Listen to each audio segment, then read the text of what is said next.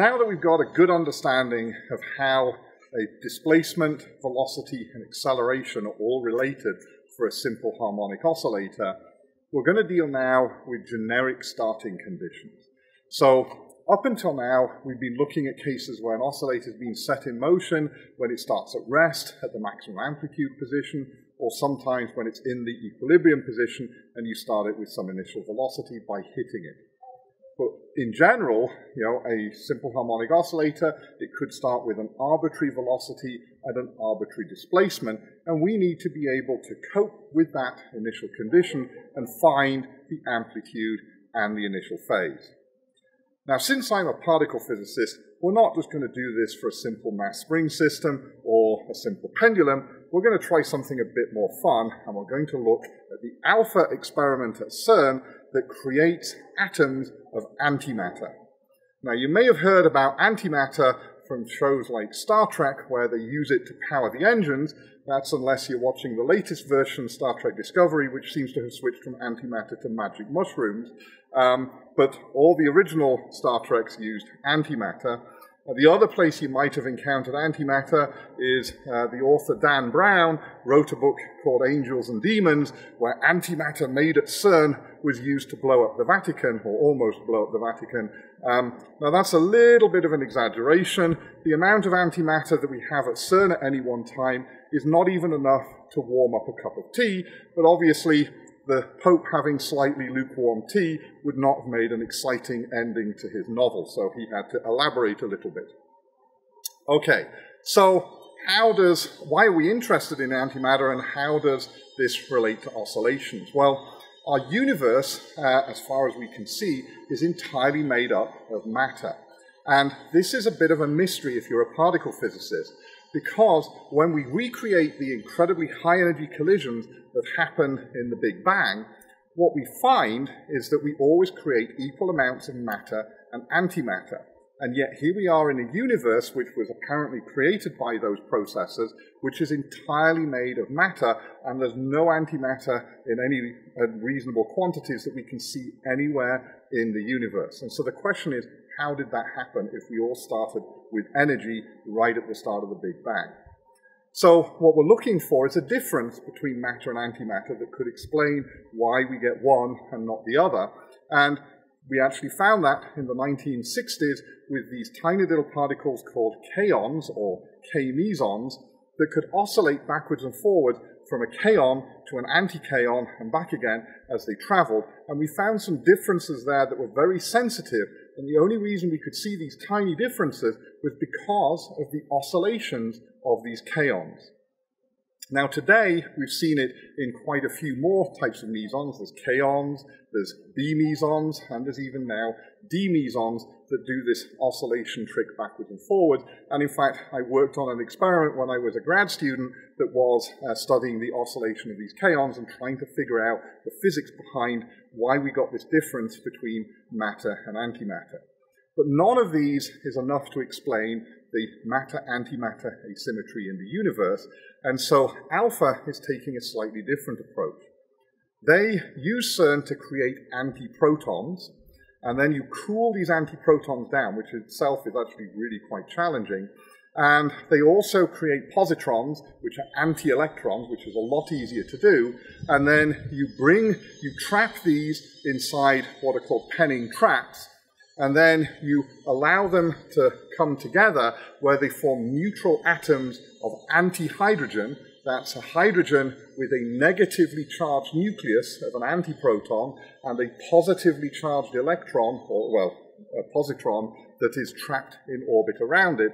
And then they use lasers to excite the different energy levels in this anti-hydrogen atom to try and see if it has the same spectrum as ordinary hydrogen. One of the other experiments they did was actually just to see if it falls under gravity just like uh, normal hydrogen does. And of course, the expectation and their result was that it does indeed just fall like ordinary matter under gravity. However, in these penning traps, where you trap the antiproton, the antiproton oscillates backwards and forwards And so what we're going to do is we're going to consider the oscillation of one of these uh, antiprotons that's trapped inside the penning trap, and we're going to use that as our example. So what we can see in this picture is a close-up of the penning trap right at the heart of the alpha experiment and you can see how it consists of a set of metal rings which have got wires connected to them and those wires allow you to apply and essentially put a charge on any one of the rings. So if we look at this in diagrammatic form, what we can see is we can see two rings with a third ring that we've cut away so you can see inside it, sandwiched in between the two and insulated from them. And the way the trap is loaded is they use a magnetic field parallel to the axis of the cylinders. Now charged particles will move along magnetic field lines. They actually go in a helix around the magnetic field line, but they go along the magnetic field line so they can inject antiprotons into the trap and as they come in they see the negative charge on the far ring of the, uh, of the trap. And so they slow down and will eventually reflect and go back the way they came in. But before they can do that you spring the trap by adding a negative charge to the ring that the antiproton has just come through, you apply a negative um, uh, charge to that ring, and then of course the antiprotons are trapped. They are trapped to move roughly along the magnetic field lines, and they are repelled by the negative charges at either end, and so you end up, as you can see here, with an antiproton oscillating backwards and forwards inside the trap, and that is going to be uh, what our question is about. So here we have the question that we're trying to solve. So we're told that we have an antiproton in the penning trap of the alpha experiment. It undergoes simple harmonic motion with a frequency of 500 kilohertz and it has an initial velocity of 200 kilometers per second when it is 5 centimeters from the equilibrium position. So these are the key uh, facts. It's simple harmonic motion with a frequency of 500 kilohertz, and our initial conditions are that it has a velocity of 200 kilometers per second at 5 centimeters from the equilibrium. And the first part of the question asks what is the displacement from equilibrium as a function of time? The next part is what is the maximum force on the antiproton, and the last part is a second antiproton with half the energy of the first one is now trapped. What is the amplitude of its motion? So to start with, let's go back and have a look at our antiproton in our trap and put in these initial conditions. So here we are with a diagram of the penning trap. We can see our antiproton uh, in it. We've labeled the initial displacement, that's up here at 5 centimeters, and we've labeled the initial velocity. Now we know it's undergoing simple harmonic motion, so if we call the displacement from equilibrium x, which of course is a function of time, then we know that this function will look something like this, where we have an amplitude here, a, we have omega times time, where this is our angular, omega is our angular frequency, and then phi is our initial uh, phase. Now, we know that uh, omega here is equal to 2 pi times the frequency, and we were told that the frequency, f here, is equal to 500 kilohertz. So we know that omega is just 2 pi times that, so that is essentially 10 to the power 6 pi, or a million pi, uh, and then of course the units here are radians uh, per second, which have the same dimensions as hertz, um, but we're just putting in the radian there to remember that we've got this additional 2 pi factor, and we're talking about angular frequency, not linear frequency. So we know omega, but now we need to find the amplitude and the initial phase. So how do we do that? Because we're not starting now in a simple position where we're at maximum displacement or we're at the equilibrium position, which are the examples we've seen so far. So we've got our expression for the displacement. So next, what we want is we want to look at our um, function for the velocity. Well, this, of course, is just dx by dt, and so we differentiate the equation that we have above. And so we end up with minus omega a times the sine of omega t plus phi, where cosine has gone to minus sine, and because we've got omega t in here, we bring an omega factor out in front. So we've got two um, expressions here. So the next stage is, is we're going to use these initial conditions to come up with two simultaneous equations that we then have to solve.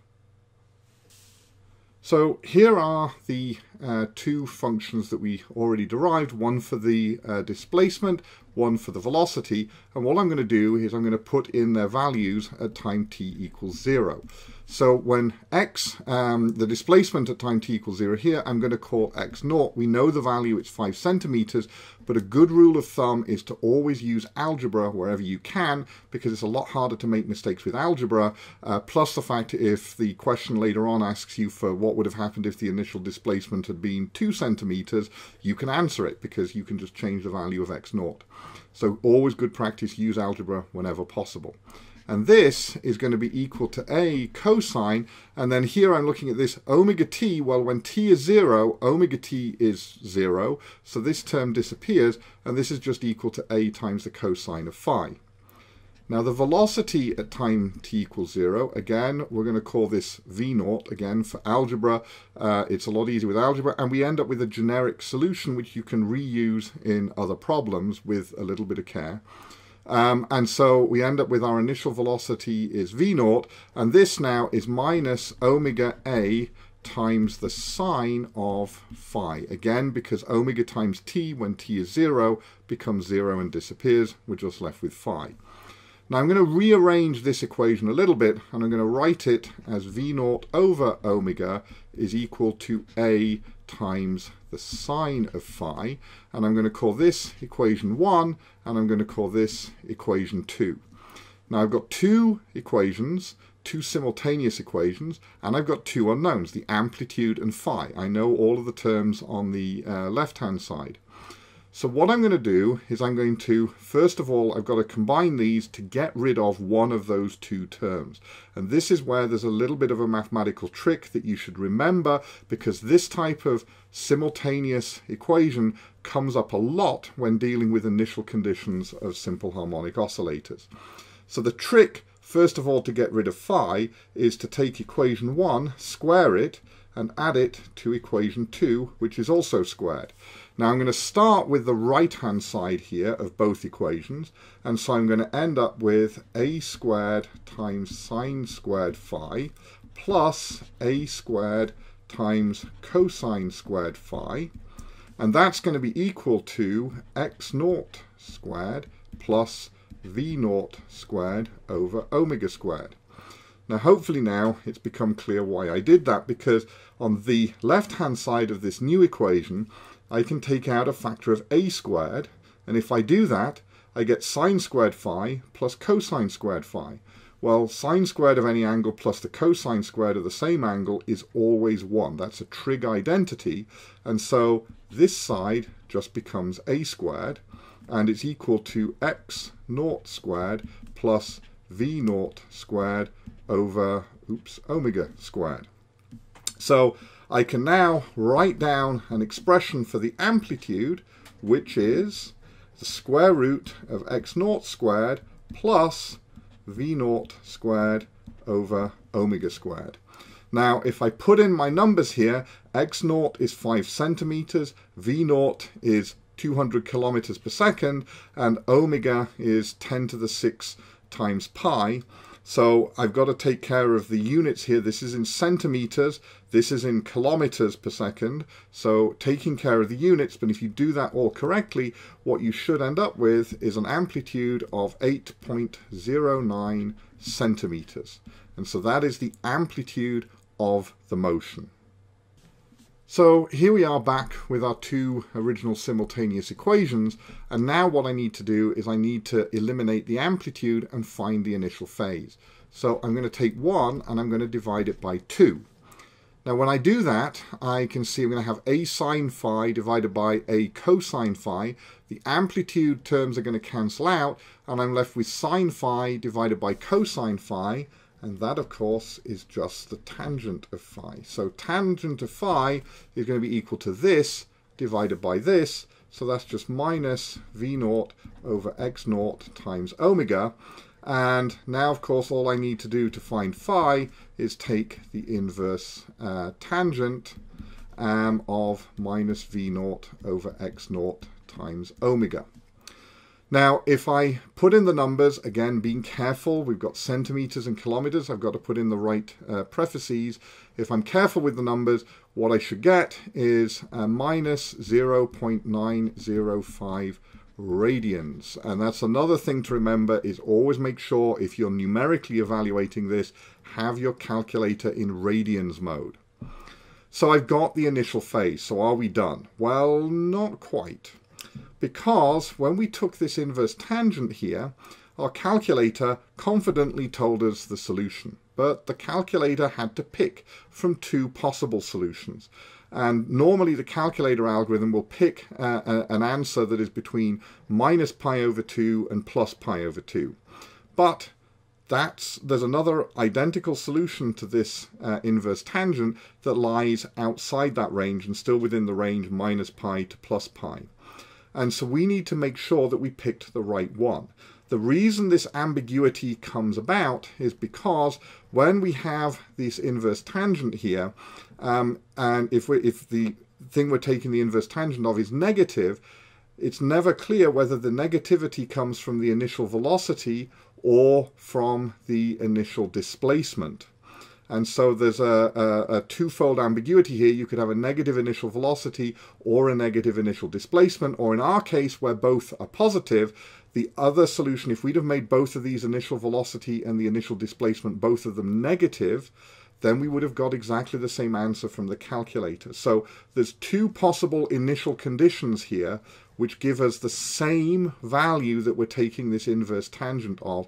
So mathematically, the calculator can't know which one is correct. We have to do that by hand. And the way we do that is we go back to our old uh, trig rule, uh, the old cast rule right? So hopefully you remember this uh, from when you learnt trigonometry, that if we have an angle here, so this line here, we always measure it relative to the positive x-axis, so we measure it uh, relative to this axis here. So if I take the sine, the cosine, or the tangent of an angle that lives in this quadrant, they will all be positive. If I take it in this, if the angle's in this quadrant, only the sine will be positive, hence s, both the tangent and the cosine will be negative. If I take it in this quadrant, the tangent is positive, sine and cosine are both negative, and if I take it in this quadrant, then only cosine is positive and the other two are negative. Hence, the initials form the letter cast, and so this is known as the cast rule. So, how is that relevant here? Well, our initial phase angle here we got was minus 0.905 radians, and so that lives in this quadrant here, right? So the calculator picked the angle that lives in the cosine quadrant, so only cosine is positive. So now we have to go back and we have to look at our expressions for the initial displacement and the initial velocity, right? This is when, um, remember, t is 0, so there's no omega t here.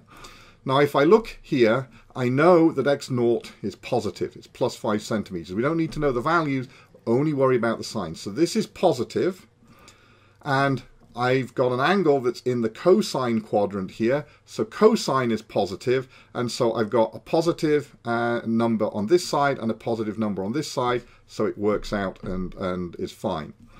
If I look at the initial velocity here, well, my initial velocity is plus 200 kilometers per second, so this is positive. And I have a sine here, the sine of the angle, well, we're in this quadrant here, so sine is negative. But I've got another negative, you know, minus 1 here in front. And when I multiply those two together, I'm going to get a positive uh, answer here. So I've got positive answer here, positive answer here. This checks out and it works. So in this case, the calculator guessed the right answer. Not always going to be the case, and sometimes you need to put in the answer that's up here. Remember, it's always a, a difference of pi or 180 degrees, but pi radians different. And so had we had a negative 5 centimeter initial displacement and a negative 200 kilometer per second uh, velocity, then this would have still um, given us the same value inside this inverse tangent function, and the calculator would therefore have given us the same angle, but in that case, had these both been negative, this would have been the wrong answer. So always, always check. You've got a 50% chance of getting it right, so always make sure that you have got it right.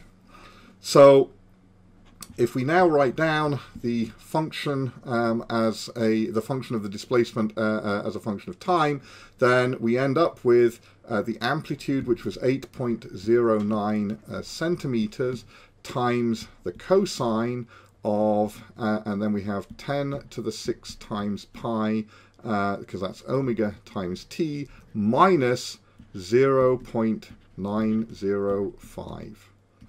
And so we've solved part A with this function here.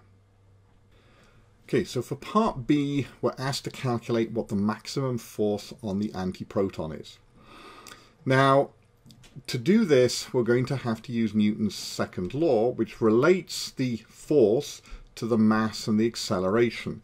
Now, we know how to calculate the acceleration for a simple harmonic oscillator, then all we have to do is multiply it by the mass. So we need a physical constant here, and that is the mass of a proton is 1.67 times 10 to the minus 27 kilograms. Now this is the mass of a proton, of course we're dealing with an antiproton, but there's a fundamental symmetry of nature that tells us that the mass of an antiproton will be exactly the same as the mass of a proton. Um, if that's ever broken, so we ever find an antiparticle who's got a different mass to its equivalent particle, then we've broken the symmetry behind relativity, and breaking relativity would be pretty phenomenal. So um, particle physicists do do experiments to check that the mass of particles are exactly the same to within the accuracy of their experiments as the equivalent particle because there's a Nobel Prize in it for anybody who can prove that they're different.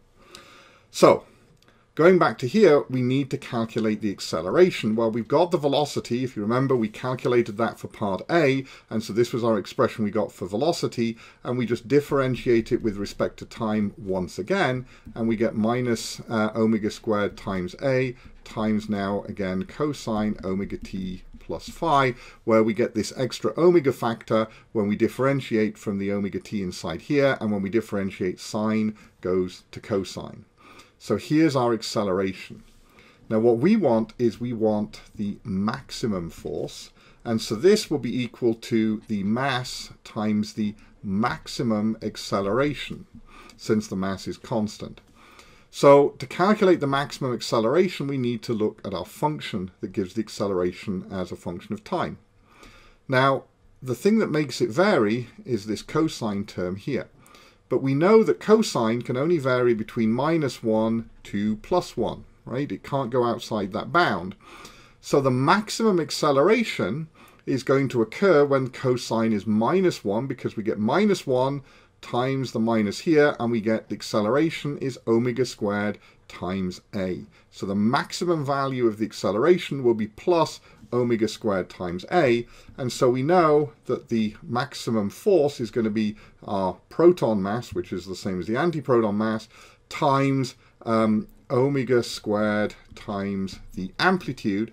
And if we put all of our numbers in from the previous parts, again, making sure to uh, be careful with prefaces because we got an amplitude in centimeters, um, what we end up with is that the maximum force is 1.34 femto newtons, which is 1.34 times 10 to the minus 15 newtons. So that is our maximum force. So for the last part, we're asked to uh, calculate the amplitude of an antiproton which starts with half the energy of the initial antiproton. So to solve this, we need to remember an important relationship between the energy of a simple harmonic oscillator and the amplitude. And the relationship is that the total energy of the oscillator is proportional to the square of the amplitude. So what we've done here is we've had uh, energy, uh, the new energy is equal to a half of the initial energy. And so what that means is that the new amplitude squared is going to be equal to half of the original amplitude squared, right? Because of this proportionality, if I halve the energy, so my new energy is half of what I had originally, then this the new the square of the new amplitude is going to be half the square of the old amplitude. So all I have to do now is take the square root of both sides of this equation and I end up with that the new amplitude is the old amplitude divided by the square root of 2 which is point uh, so basically it's the old amplitude multiplied by 0.707 so about 70% of the amplitude of the original uh, antiproton. It's not half, right? This squared term here is important, so remember this relationship between the total energy and the amplitude, and you'll be able to solve questions like this. So that's it for our example problem. So what we've done is we've solved the amplitude and initial phase for an oscillator given generic starting conditions. Now obviously not all examples are going to be antiprotons trapped in a Penning trap at CERN, um, but the same method applies equally to a mass spring system, a pendulum, or any simple mechanical oscillator, or even more exotic things like electromagnetic waves. So the trick, remember, is to uh, create two simultaneous equations, one by using the initial displacement and the second by using the initial velocity.